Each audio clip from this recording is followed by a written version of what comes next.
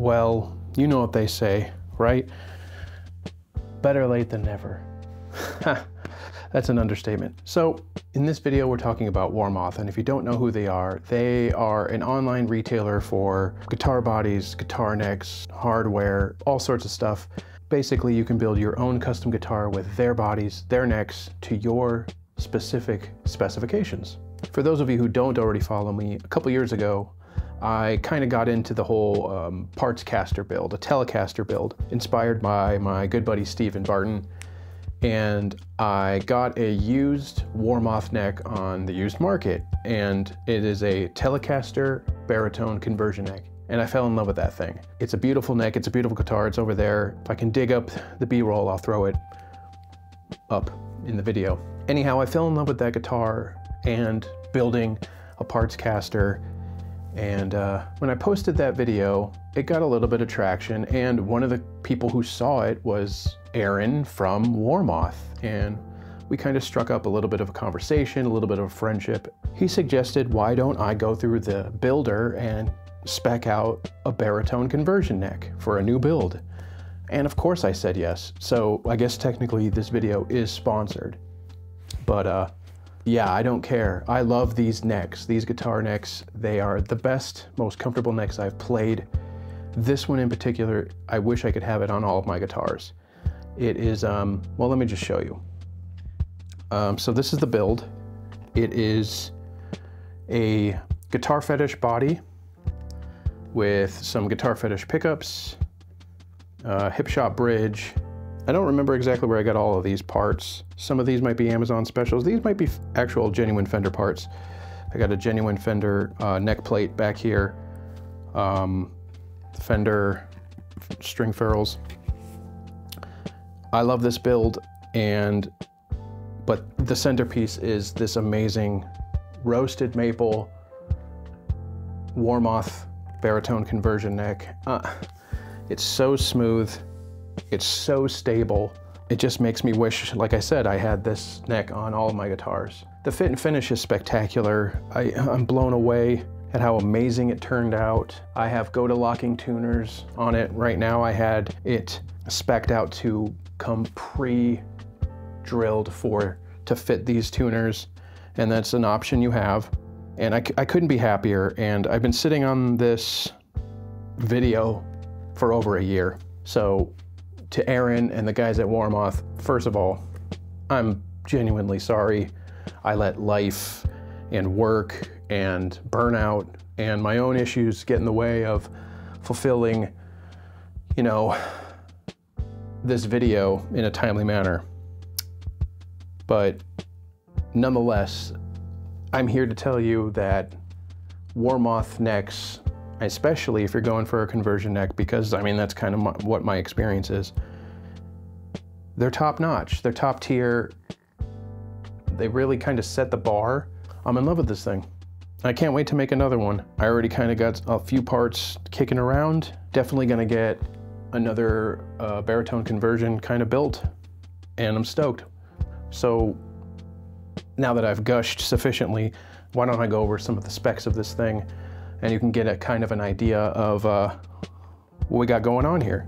So as I said, it is a baritone conversion neck. It fits into any standard Fender Telecaster pocket and it fit in here perfectly. I don't have any shims. I couldn't be happier with how it fit right right from the word go. So with the baritone conversion next, they are, it turns a standard Telecaster, which is 25 and a half inches, to 28 and 5 eighths inches that is pretty long.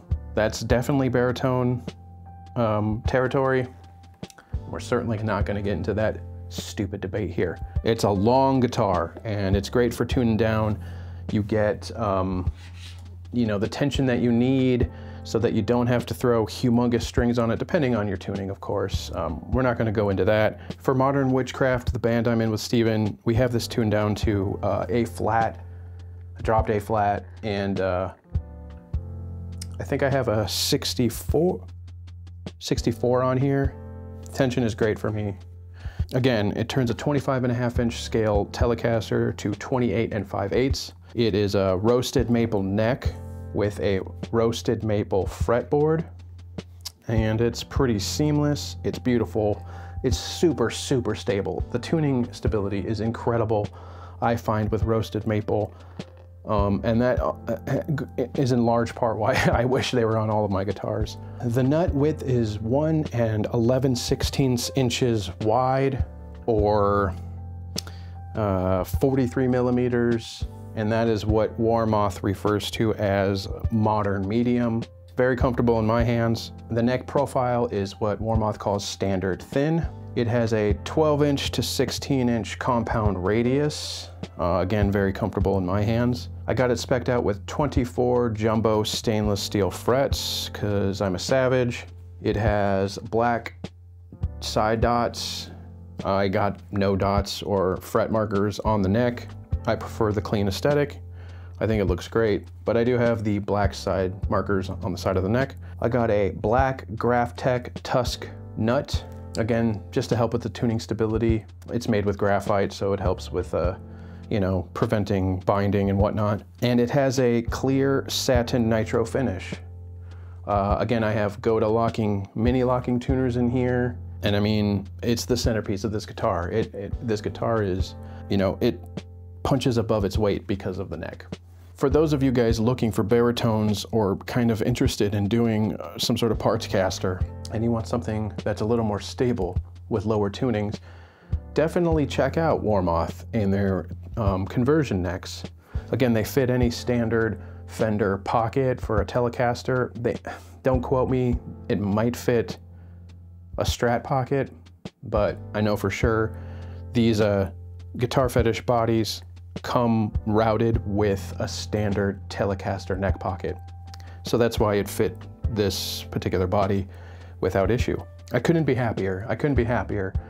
I have every intention on purchasing another conversion neck for my next build. That'll give me three Telecaster builds. Um, let me let me grab the other Seafoam green one just to kind of show you. This is the one that uh, got me hooked on Warmoth necks. So this is the, the one that kind of started it all. This is a, a also a Warmoth conversion neck. It has a different profile. Um, it's it's uh, noticeably thicker. I don't have those specs though, but this is the neck that um, kind of made me fall in love with Warmoth necks and started the whole journey with uh, this one. So I have two Telecaster parts caster builds both with Warmoth necks, and I just I just couldn't be happier. So again, I want to thank Aaron over at Warmoth um, for a just being such a cool dude, willing to have uh, conversations via email and just shooting the shit, and also for trusting me to make it, uh, you know, a video and and sending me this neck, letting me spec out this neck, and you know, um, I couldn't be more honored to work with them hopefully I didn't burn that bridge by taking so long. Again, uh, I humbly apologize to the guys over at Warmoth for it in fact taking so long and I want to do it, you know, in the video because I want to hold myself accountable. But that's kind of all I have on this, man. If you guys are looking for a baritone, check out warmoth.com. They have not only just necks, but they have all sorts of different custom body shapes. You can get custom routes, your, your finish choice. I mean, the, the options are almost endless. It's definitely a wormhole that if you got a couple hours, you know, give it, a, give it a shot, take a look.